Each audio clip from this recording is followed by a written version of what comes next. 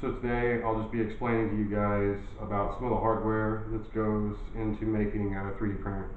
Um, this right here is called a RAMPS board, and what it does is it breaks out the functionality of these this Arduino or the ATmega chips. Um, this is this is called an Arduino, uh, and it basically just uses an ATmega chip uh, to break out the functionality of this chip to the to these pins so that people can put things on like this, uh, which is called a shield. and what this did is, is it's got just a whole bunch of traces to break out these pins into uh, a nice form factor so that you can use all the functionality that you need for a 3D printer. Um, over here is the power rail input uh, for the ramps board. And if I pull that off, uh, it makes it so it's easy to pull off and put back on, uh, reasonably easy anyways. Um, so, you know, say positive, negative, positive, negative, positive, and these are 12 volt supplies. Uh, I think you can go up higher than that, but we're going to be using 12 volt supplies today. Um, over here, we've got, uh, this is where you would plug in your hot end, your heated bed, and um, any other thing, uh, fan usually is what you would plug in for the other one. Um, you see these things here, these are the motor drivers that run the steppers, and these come off, um, these come off, and you can buy different versions of these motor driver steppers, or these uh, stepper drivers.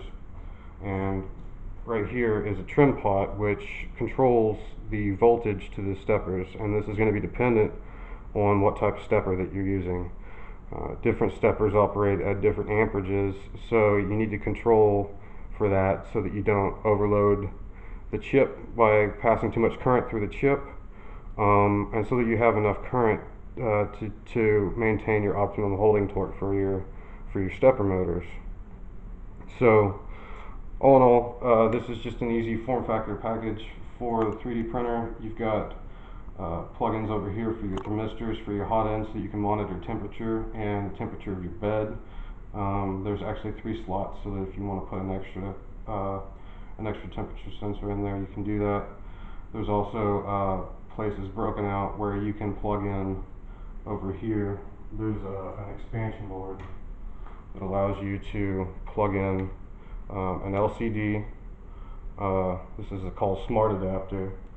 Uh, so that you can have a heads-up display so whenever you don't have your computer plugged in. Uh, so you can run uh, G-code directly off of the SD card that's into this in this package. Um, so this is like an all-in-one open source, like community-driven package that this has a ridiculous amount of hardware.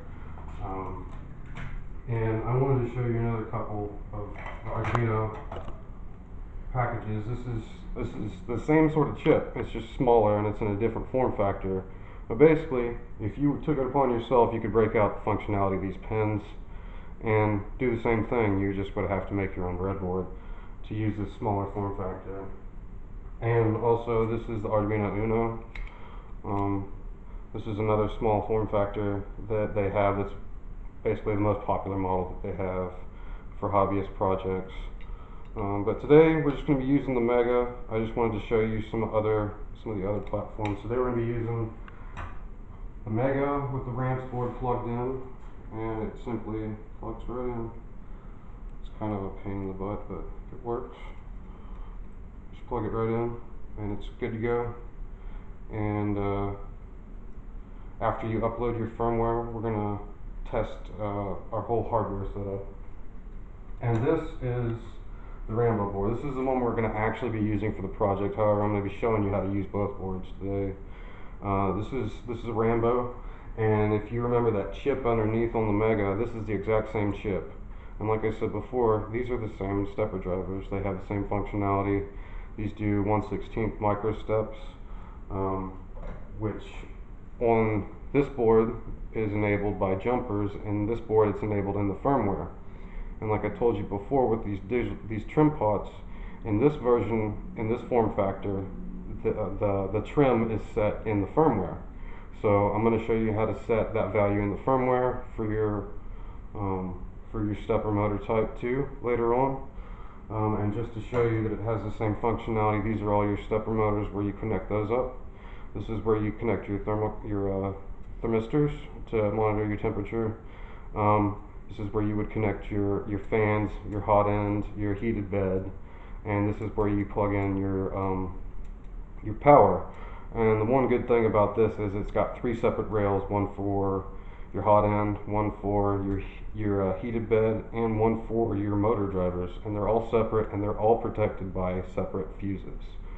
So if you have a problem on one circuit, you can figure out which circuit it is, and you can better troubleshoot your project if you have a problem.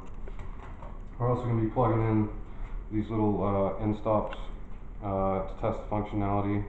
And what we're going to do is we're just going to plug in some stepper motors.